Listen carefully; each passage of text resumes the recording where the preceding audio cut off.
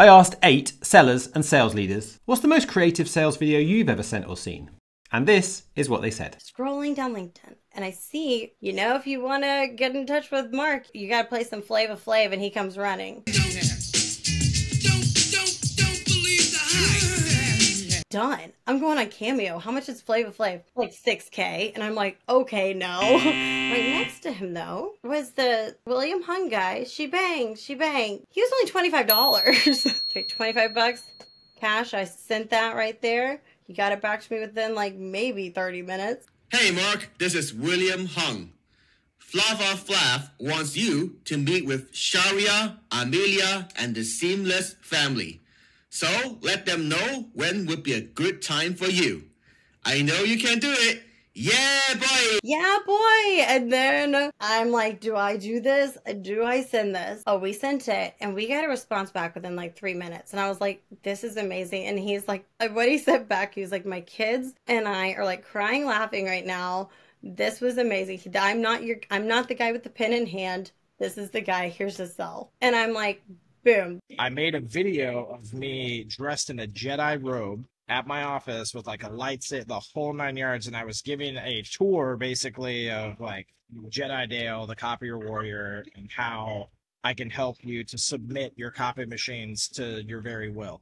Two of the individuals inside of the four that made the decision, and they were giant Star Wars nerds. I was like, watch as I use the Force on this copy machine, and like holding my hand out and and and like a piece of paper starts printing and the music starts getting louder and then it jams. But it won me a four hundred ninety thousand dollar uh, initial sale, which turned into uh, eight hundred fifty thousand in total over the course of the, the life of the contract. A rap that I sent to Riot Games back when I was at Domino Data Lab. He uh, did a presentation that was called 99 Problems, but Spark and Databricks ain't one. And so I created a short rap to 99 Problems, but about Domino. When I got to see migration on the Cloud Patrol data science team, yeah, we on a roll. At the end of it, he said, hey, if nothing, you deserve 30 minutes of my time. Grabbing attention of someone like that is pretty amazing. I have to go with the video that I sent to Kevin Dorsey. Does it really have a 60% chance of closing? Not so much. We surface deals at risk before they even become a problem that video pretty much changed my entire career. Um, and I think it really solidified like who I am and it really solidified my place in tech. Just because for a long time I always questioned whether I belonged here. And ever since that video went out, like I feel like I actually belong and I love where I am.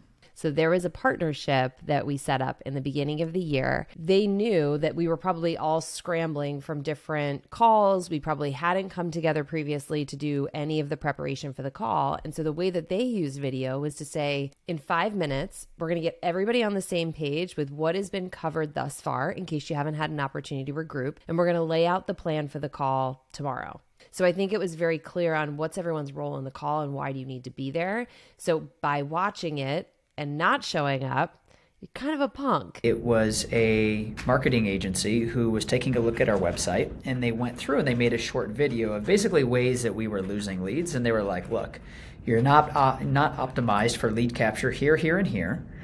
Here's a quick sketch. And then they shifted over to um, basically a view of Figma where they had redone a piece of the site. They're like, this is what it could look like this is just scratching the surface. We have more thoughts and ideas for you. Are you open to hearing them? It was like visual proof. You spent the time to think about a way to move our business forward instead of parroting the same feature, benefit, outcome, customer story. So my colleague actually came up with a with having a lighter in the end and having it as a slogan.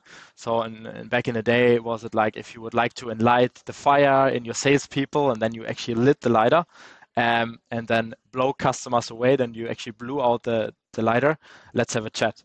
And I I did this in my in my cold prospecting approaches, and I had one video that got opened 230 times because when you know in Vidyard you see how many clicks it got.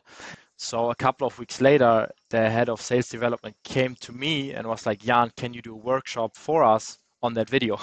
and in the end, they were really surprised that I was actually just a, just a rep you know, trying to land a meeting with with their boss instead of uh, working for for Vidyard. so that was pretty fun, yeah. One prospect would have spoke a lot about going to the gym. So this lad that I used to work with, he made a video and he said, "Let me try and do this pitch whilst I'm doing sets." So he basically was like doing bicep curls um, to the point of failure, but trying to get his and you, as the video went on, he got more and more tired. And I, and I thought that was really funny. He sort of put himself out there. He tried to do something a little different, and you actually wanted to see if he did it. So you, you did want to watch it all. Be human with people, be fluent with people, and be extremely authentic and genuine in the way that you're delivering video, and you'll have incredible results from it.